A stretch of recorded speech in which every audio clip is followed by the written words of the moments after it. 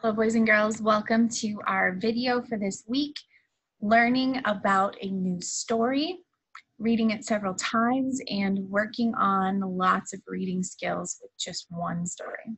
Okay. For today, you'll need three things. You will need your literacy notebook. You will need your book called Starting Off Strong or Junior Great Books, and you will need a pencil. Please pause this video if you need time to go grab those items. In my notebook, first I'm going to open up to the next available page. So I'm going here, okay. In my book then, I'm going to the next story. How the Peasants Bought Wisdom. You can find this on page 12 or page 13. I'm going to go ahead and write down the name of the story. First, I'm writing down the name of the book, starting off strong. And then I'm writing the title of the story, How the Peasants Bought wisdom. Okay. I'm gonna go ahead and hit focus. Here we go. All right, so today is our vocabulary prep. So just like we did last time with our previous story, here it is, we'll be making a list of the words that we don't know. Okay, so again, Coming back to say words that I don't know. I'm going to write both the word and the page number. Now this story is found from page 12 to page 15. So that is what we will be reading today. I am going to read the whole story to you. Now, why do I do this? Okay, obviously, fourth graders can read on their own. However, the first time you hear a story or you read a story, it's a really great idea to also listen to it. Okay, so you're welcome to either follow along on my screen if for whatever reason uh, you're tired of looking at screens, because you know that's what we're doing a lot, unfortunately you're more than welcome to follow along in your book. Okay, so getting started on page 12, please join with me. Three men dispatched to Venice to bring wisdom to their little village. So here we have a lot of picture clues there about what is happening in the story. After we read the story, I imagine this picture will make more sense. Okay.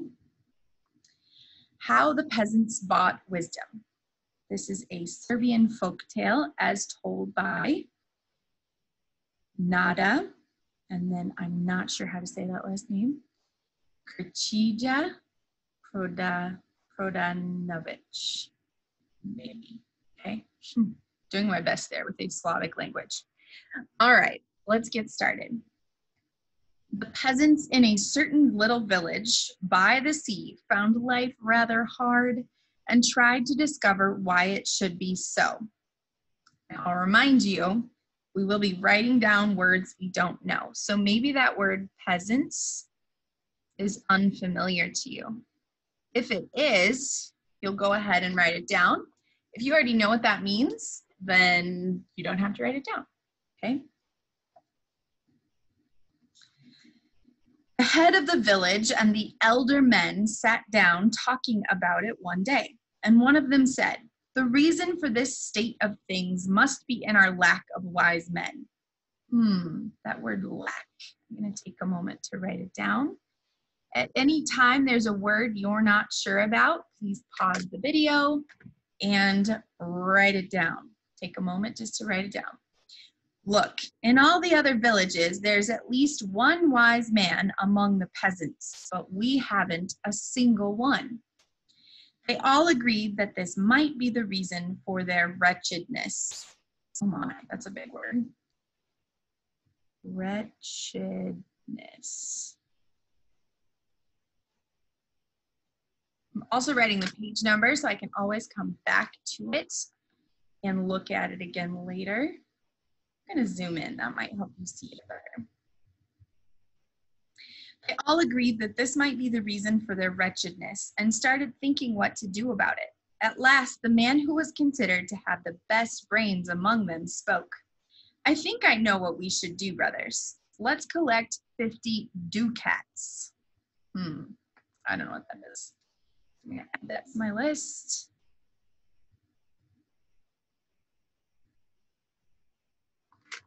All right. Let's collect 50 ducats among us and send three of our men to Venice to buy wisdom.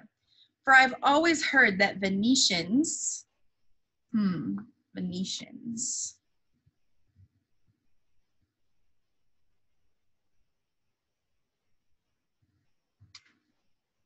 I've always heard that Venetians are the wisest people in the world and that they so brim over with wisdom that they have a surplus to sell to other people. Surplus.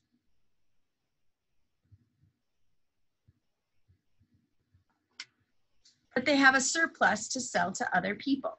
Of course, this rare commodity will be very dear.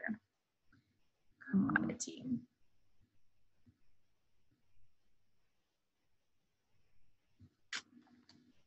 All right, on to the next page.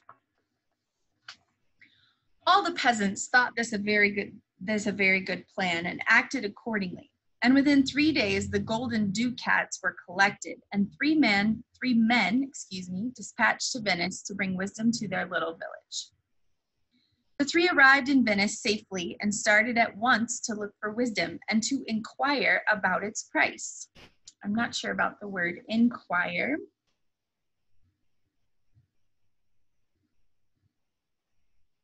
This is now page 14, so I'm going to write that instead of page 13.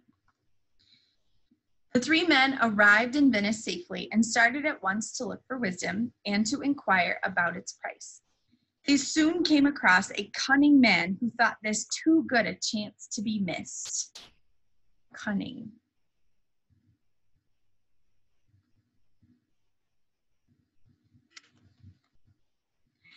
Can't sell you a stone of wisdom for the amount of money you've bought, you've brought, he said, but I'll let you have a quarter.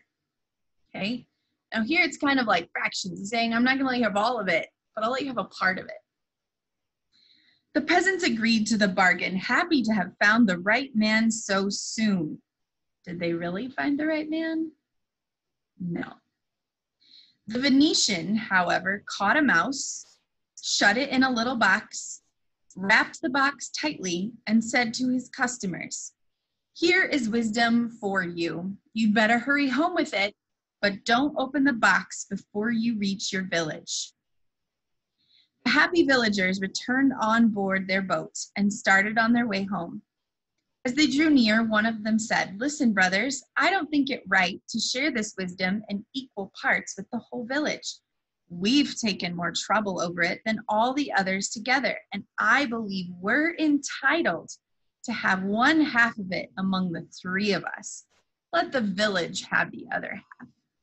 I'm looking at this word entitled. I'm going to write that down.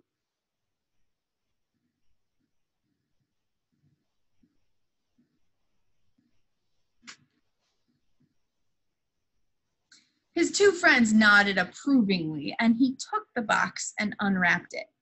The moment he opened it, the mouse escaped. Excuse me, as any mouse would do. It hid somewhere in the hole. Hmm. Hole.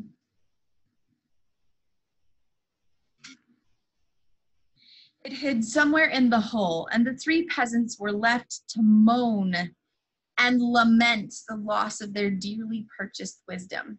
This word lament, I'm going to add, and it's also on page 15. However, when their hunt proved unsuccessful and when their lamenting came to an end, one of them was struck by a bright idea. Listen, brothers, there's really nothing to worry about, for our wisdom is still on board this boat. It hasn't run away. Soon afterward, they reached their own shore. The whole village was at the little harbor to welcome them, waving bright handkerchiefs and cheering. But when the elder peasants wanted to look at wisdom, the three men confessed, though somewhat reluctantly, to having let it go loose. I'm going to write that word reluctantly.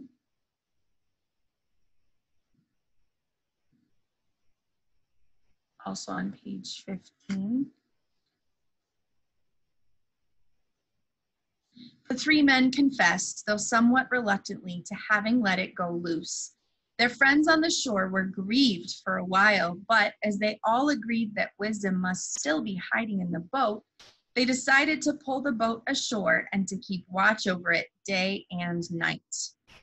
Okay, I'm going to write down that word grieved and then ashore.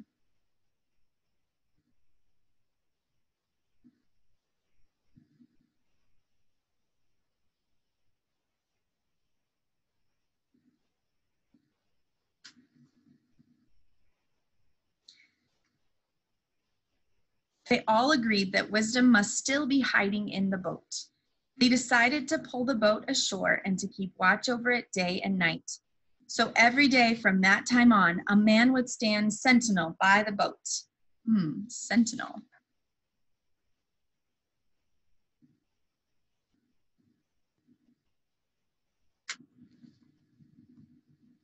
So every day from that time on, a man would stand sentinel by the boat and the peasants, whenever there was a serious matter to be solved or a wise letter to be written, would come into the boat, sit there for a while to absorb as much wisdom as possible, and then do their task with confidence.